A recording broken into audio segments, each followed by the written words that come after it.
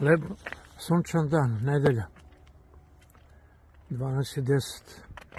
Ovdje su nekad bila vatrogasna kola. Tu je bila policija.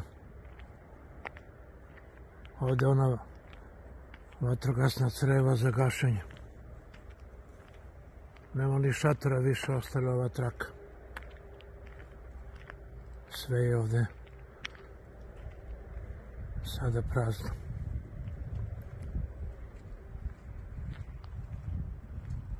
Ovdje je bio šator gdje su vatrogasci spavali. Samo još ono tamo stoji.